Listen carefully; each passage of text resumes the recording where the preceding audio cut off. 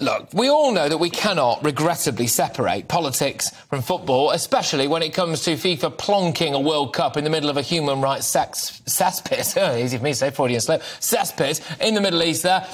What do you think about all of this, though? Should the football players have actually worn this armband and cracked on?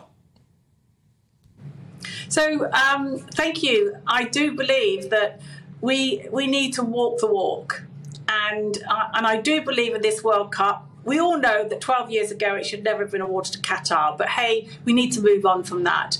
But now it's arrived, we look at it and think they are still dictating what can and cannot happen. And they talk the talk around that they accept you know, the gay, the disability, etc. But they're not walking that walk because FIFA have bowed down to Qatar when it comes to wearing the armband. But let's be really clear about the laws of the game.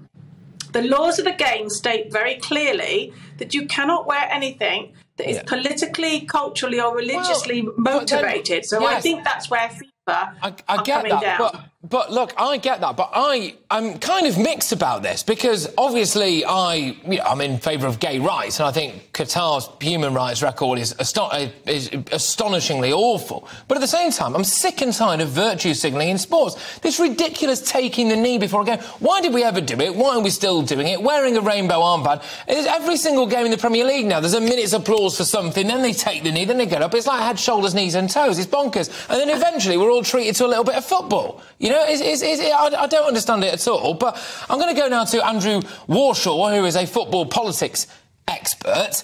Uh, what do you make of, of all of this? Do you think that we should just stop the virtue signalling? We're in Qatar. We've got to abide by their laws. Just crack on. Listen, um, I think you're being a bit unfair to the players, Patrick. Um, you, are shooting the messengers, mate. Um, it, this is down to FIFA.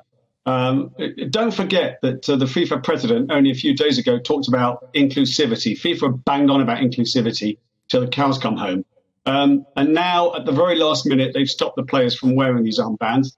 The players are there to play football. If uh, if you were a player and you and you were told you'd be booked or possibly even sent off if you wore these armbands, uh, you'd probably give in to that as well. So I think you're being a little bit unfair. But my point is, though, that they should have seen this kind of stuff coming, right? And, you know, if Harry Kane makes a massive deal about it, Andrew, I'll, I'll just stay with you for now. If Harry Kane's going to make a big deal out of it, no one held a gun to Harry Kane's head and said, you've got to do this now have you? And he decided he was going to press ahead with it anyway, and then they back out of it. I mean, it's not just Harry Kane, though, is it? It's the BBC and the likes of all of those people. Oh, it's an absolute aberration. We're going to do a, a, a panorama-style takedown of Qatar's human rights record, but we're going to send hundreds of people over there to get paid to go and report on a country and all of this stuff. Should we just all shut up about Qatar's human rights record, Andrew? Um, no, we shouldn't, because um, if it, it, don't forget, if it hadn't been for Western pressure, some of the human rights reforms that have taken place in Qatar since they were awarded the World Cup wouldn't have been um, well, like done what? in the first place. What? I'll tell you exactly what. Yeah. The kafala system that ties um, migrant workers um, to their employers um, without being able to get out of it, that has now been scrapped. That's been abolished by the Qatar authorities, and they are, and they themselves, they themselves, Patrick, admit that reforms have taken place.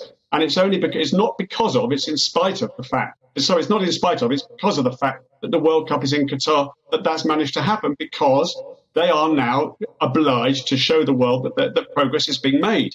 And this has happened in politics and sport have always mixed. It's complete nonsense to suggest that it hasn't.